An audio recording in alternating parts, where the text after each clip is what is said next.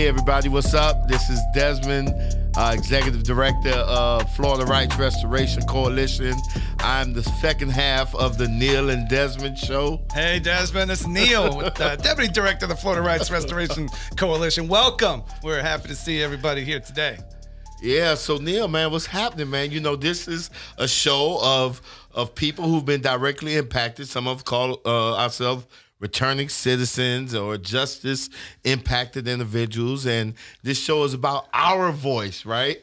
That's exactly right, man. And it also happens to be the first week after Thanksgiving. So we got Cyber Monday, we're celebrating. We're also Giving Tuesday. We got a fun Giving Tuesday campaign going on here at What's FRC. happening with that? Talk talk about that. So you know we got this fines and fees program that helps people get their fines and fees paid and move forward with their life. We are challenging folks, we're part of the FRC family, man. Let's step up this this holiday season and help hundred people get the gift of democracy. We're trying to raise people. Yeah, we're trying to raise hundred thousand dollars so that we can help hundred people move forward with their lives, get access to democracy, all that stuff. Wow, you know, and man, matter of fact, you know what? I know you. You listen.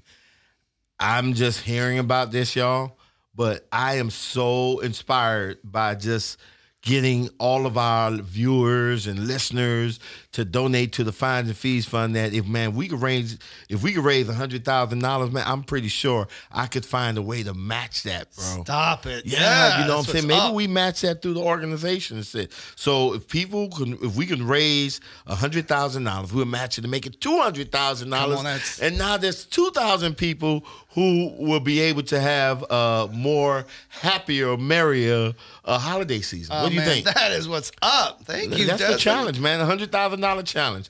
Listen, you tell your family, your friends. Listen, go to www.floridarrc.com and click on the donate link to donate to our fines and fees fund, uh, so we can help brighten the lives of so many people that are burdened with these outstanding fines and fees. That's right. What Give the think? gift of democracy this year, man. Yeah, what, man. What better gift could you give? Hey, man? let's do it, man. But you know, Neil, you just jumped into it. I think, man, you know, we talk about you know, current events, man. We cannot start the show without giving a huge shout out, right, to the Ohio State Buckeyes, right, for what they did to Michigan. Unbelievable, bro. Uh, You know, I, I- I got my red shirt on, and I noticed you wore your blue shirt. That's right. I got to was- rep Michigan for all my Twitter fans. oh man, we had them going on Twitter. You know, they were curious what was happening, and uh, yeah, the Buckeyes uh, uh, just didn't do it. We had one Michigan fan from in, in Orlando area, Aramis Ayala, I think that's her name, that was thinking that Michigan was going to win. I was hoping, I was rooting for him, but uh, sorry, Aramis. Uh, Ohio State did it again. All that trash talk from Aramis and David, but you know the. Buckeyes just pulled it. out. Oh wait a minute, Yep. they didn't, did they? That was just no. no, the Buckeyes, that was a, they just beat them down, man. that was- Buckeyes ought to catch a charge. They ought to be returning citizens, right? Uh, and maybe we might have to raise fines and fees to get them up out of there. But listen, um, on that note, though, one of the things that we was talking about earlier, um, we was talking about even the comments uh, in, in NBA about Michael Jordan and LeBron James not doing enough for black folks, right?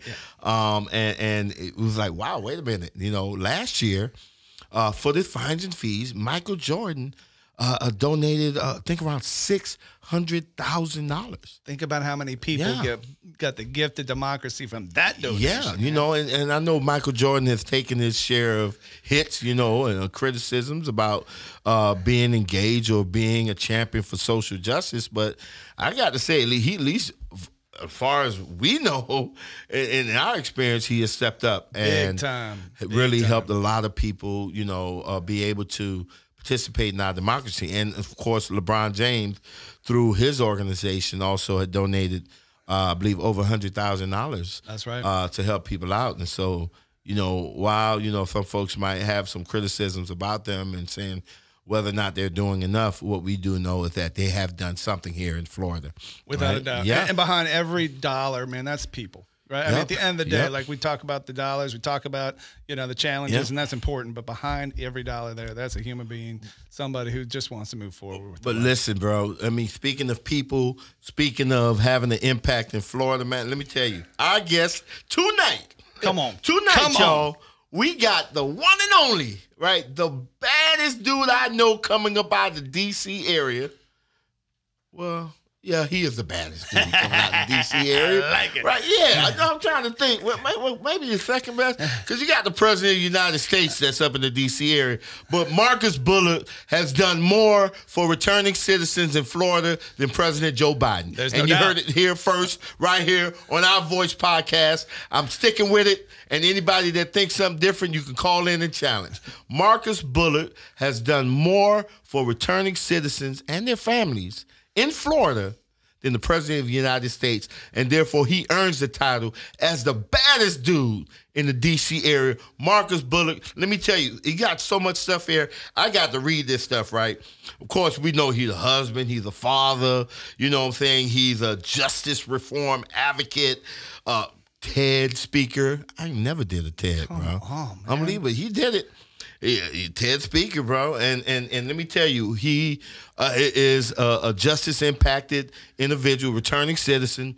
Uh, went in at a young age, and after he got out, you know, he, he tried to start a construction business. He was doing some paint thing, like some Sherwin Williams paint, but you know, he he's not as color coordinated, so he had to go into construction, you right, industry. And he started toting them blocks. He was like, wait a minute, this is too much work right here. You know what I'm saying? Let me see if I could do something a little bit more spectacular. And he founded Flikshop. So he's an entrepreneur, is what you're Yeah, and it was through Flikshop that we partnered with Marcus. And during the COVID pandemic, where people weren't allowed to visit their loved ones, right? We were able to get Flikshop credits and give the folks so they can snap pictures, right? It's like the Instagram uh, uh, uh, of for prisons, uh, and and they can snap pictures with their phone. And Marcus' team takes over from there and put them into nice postcards and get those pictures to the loved ones that are behind bars so they can have that connection He is the baddest He's a man. but wait, wait a minute now. Oh, Check out his awards. Look at all this. Wait a minute. It's a long list here, man. Marcus is the inaugural cohort member of Techstars Anywhere 2018. And check this out, John Legend, our homeboy John Legend. Come on, man. I Look- mean, look at that list. Unlock futures. Business excel. This dude, man, was selected as one of the Roots. Now, the Roots is pretty big time. Mm-hmm. Heck yeah. 2019 100 most influential African Americans in the United States. They didn't say 100 most influential returning citizen or justice impact. You're talking about Americans. So that means how many people in America now? Ooh, 300 some million. Out of 300 and something million people, this cat was one of the 100 most influential. Just think about that for a minute. Named 2020, uh, what is that? Halcyon Incubator Fellow, member of the Justice Policy Institute Board of Directors. Wow. I'm- An advisory board member for Princeton University, bro. That's Ivy League. Come on. Okay. Uh, um, the, their prison teaching initiative, and he also served on the advisory board uh, of Georgetown University, McDonough School of Business, and Aspen's Institute of Opportunity Youth Incentive Fund. Oh, wait, Desmond, there's one at the bottom. No, there's, there's, there's still one there at the bottom that I don't think you saw. Desmond Meade's baddest dude in DC award. I think that's that's that's that's a Yes, big one is. right there. Yes, he is. and he's an honorary member of Florida Rights Restoration Coalition. Ladies and gentlemen, listen, I would love to introduce my friend, my brother, uh, uh, uh, uh, uh, inspiring, inspiring soul, a loving soul, Marcus, the baddest man in DC Bullock. What's up? How you doing, Marcus? Hey, Marcus. What's up, y'all? Thank you guys so much for having me on. This is it's always always funny, you know, listening to folks, uh, you know, talk about you and read your bio, especially coming from YouTube because you guys are freaking amazing. So, um, thank you so much, man. I really appreciate the love.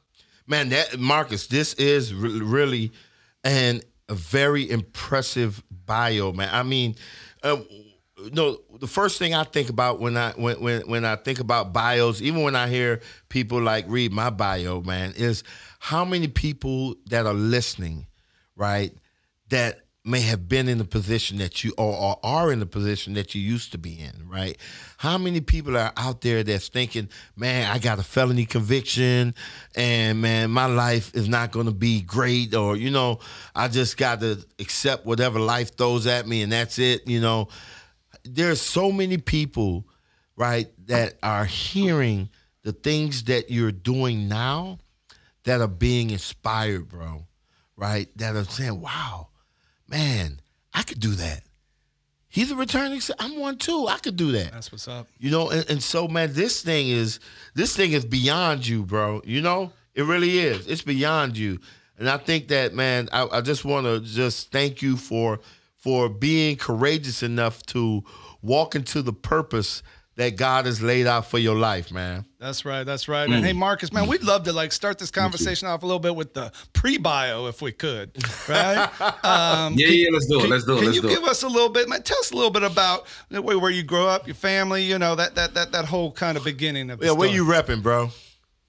Yeah, nah, I appreciate it. So, um, you know, one Desmond, like, I, you know, I'm, I'm grateful for you pinpointing, you know, that one part of, you know, the the inspirational part of the work that we do. One of the things that you know, I you know, I'm I'm always grateful for is the opportunities that I have to be able to erase some of the stigma for the people who would typically never meet a Marcus, and then also for the folks who are, are either sitting in the sales right now or their family members who love on them hard um, like they, you, you want to, you can't. It's hard to be what you can't see, and so having the opportunity to be able to to be that for a lot of people, and especially for their family members who are wondering, should I be? Should I love on this person this way? Are have they have they began to evolve? Are they really evolving to be this person that they talk about in these letters or in these phone calls or in the visiting room?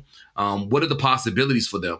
Uh, should I should I invest so much of my love and my time in all of this, right? And while publicly they may say, "Yo, I, I yes, I believe in it. I, I, believe in my brother or my son or my daughter or my auntie that's in jail," but privately they want they're questioning and they're like, "Oh my gosh, like what if I'm wrong? What if they're what if they aren't the, the, the people that they they claim to be on the in these letters on these phone calls?" And and to be able to be one of the ones that say, "Nah." Continue to keep loving on them. Like I promise you, you know, you're going to win more than you lose in this scenario. Um, I'm grateful to be able to be that. Um, so thank you for uh, for pointing that. You know, you, it's hard to be what you can't see, and I'm grateful to be able to I like that. It's hard to be what you can't see. I see why he's a TED speaker, man.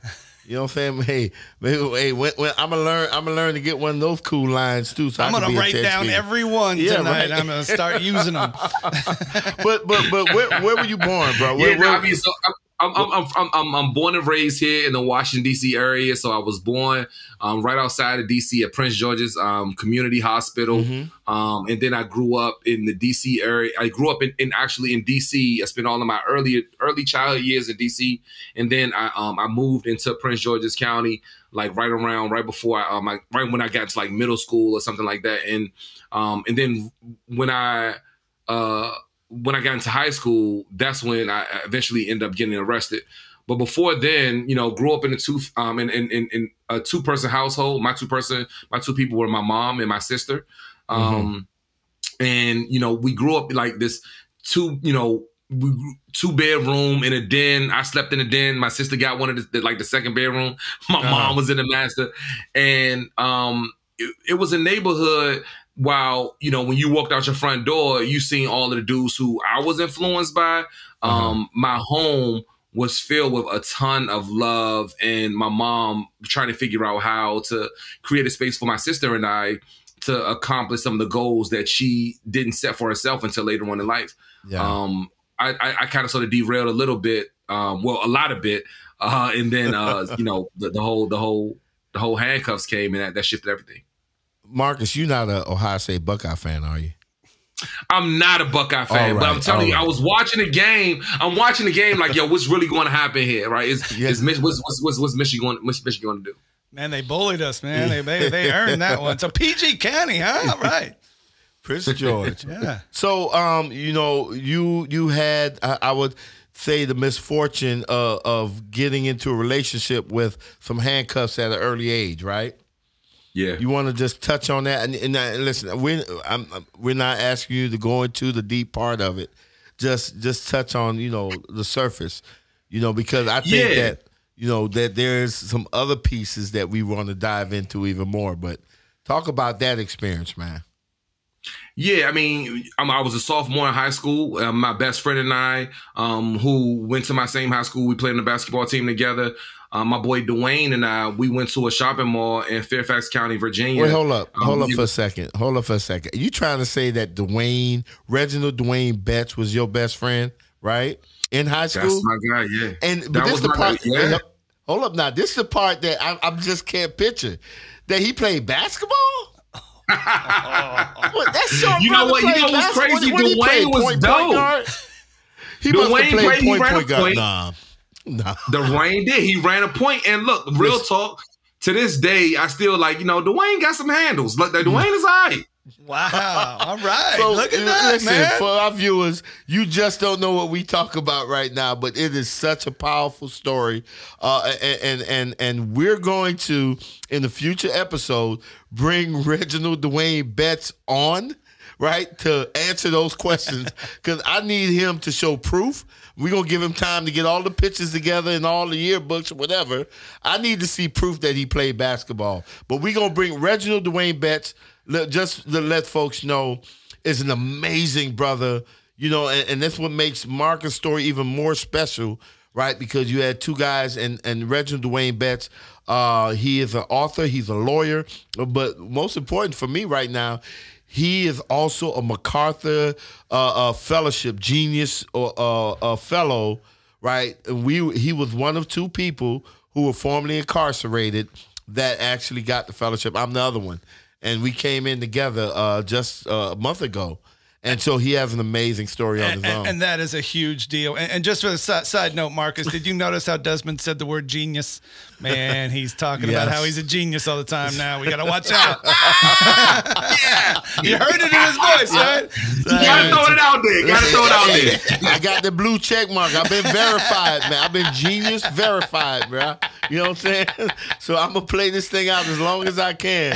But but hey, but Marcus, go ahead. So you and, and you and Reginald best friends in high school. Uh, Wait, you play ball too? I play ball too, so Okay. um, I, yeah, I'm not like gonna I, challenge you on that one.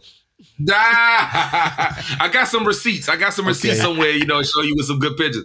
I mean, I definitely moved a lot faster back then, you know, when we were in Uh-huh. high school. And the crazy thing of it is, is that, you know, while we played ball together, Mhm. um, it was like, it was the beginning of us really learning about one another and like what we would have more conversations about was really like stuff dealing with the classroom, right? He was a math tutor, I was a math tutor. Um, it- you know, we both wanted to be able to go play D1 college ball. Um, and while we would, you know, be smoking weed together, we also we talked about how we would grow in this career playing ball and you know and being stars, you know, stellar stellar students.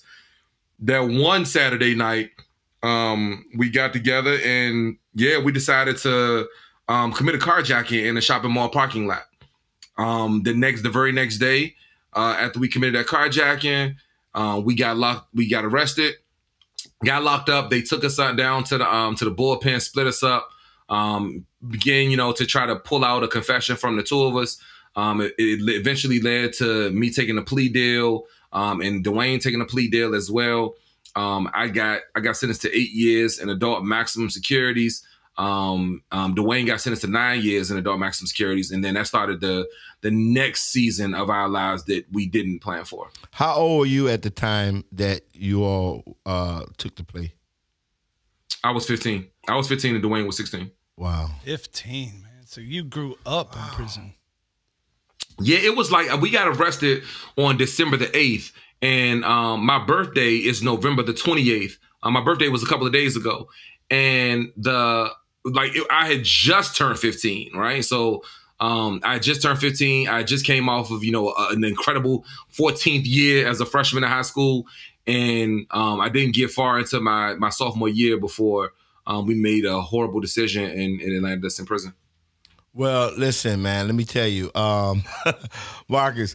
I this is what we're gonna do, bro. You know, um, I really, really, really think because you know Neil and I have been talking about you for quite some time. You know, you've been a friend of the the organization. You've been a personal friend of mine, man. Inspiration to all our members and stuff. You've been to our retreats, the whole nine yards.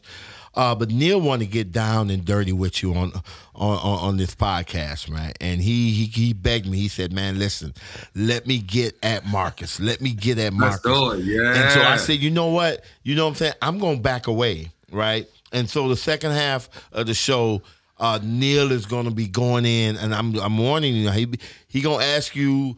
I give you a hint. He gonna ask you about a trip you made not too long ago to the White House. Just to let you know, right? We're gonna talk about that a little bit too as well. but we really want to get into your work um, and how your work is changing lives and why you actually uh, where where'd you get your inspiration from Flikshop? You know, and, and so that's what we're going to be getting into the second half. Uh, but for now, man, let, us I, I, just want to thank you once again for even agreeing to be on this podcast, man. Uh, um, I, I, I wish Reginald was here to to validate, you know, the fact that he played basketball. I believe that you did, you know. But listen, we're going to we're to wrap this piece up, right? And when we come back, it's going to be you and Neil, and we're going to get down and dirty with some with some good uh, policy discussions. Even talk about the First Step Act a little bit too as well, and just get some insight from you, man, because we know that man, you got a whole bunch of stuff in you that folks need to hear.